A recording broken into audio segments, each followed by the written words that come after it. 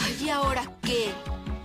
¡Oh, mira lo que hiciste! ¡Gio, tú fuiste la que la bateaste! ¡Pero tú lanzaste la ¿Ah? pelota! ¿Ah, sí? ¡Ya no a pelear, señoritas! Será mejor que no jueguen más. Está bien, Jerrica. Yo no tuve la culpa, pero está bien. ¿Me perdonas, Mariel?